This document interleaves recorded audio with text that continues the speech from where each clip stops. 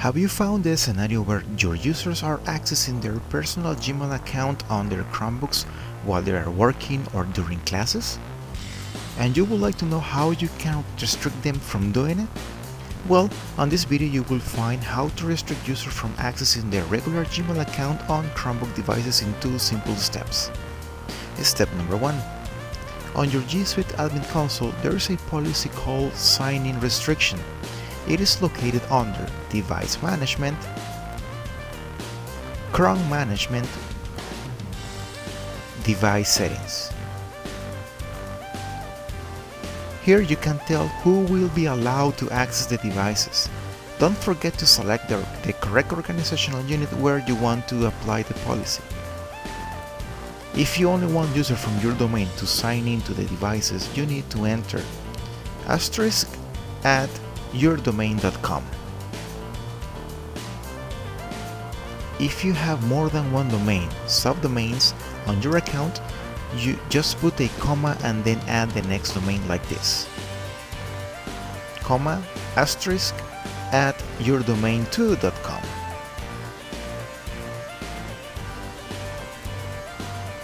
Also, if you just want to allow access to specific users, you just need to enter the full email address of the user or users like this separated by commas.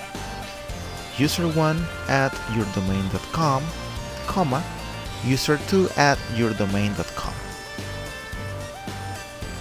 And save the changes. Step number 2. Within the Chrome browser, the users are able to switch between accounts.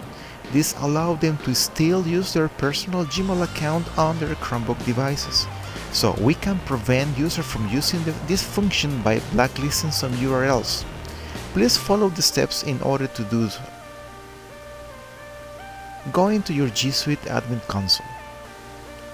Click on Device Management. Click on Chrome Management.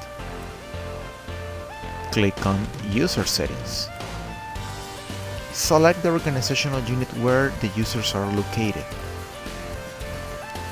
Look for the URL blocking section and under the URL blacklist enter the following URLs. The list of these URLs will be on the video description below. With this, users won't be able to switch between accounts once they are signing into Chrome devices. If you like this video, please share it with your friends on your social networks. Please subscribe to my channel if you wanna see more videos like this. I am Mac and see you in my next video.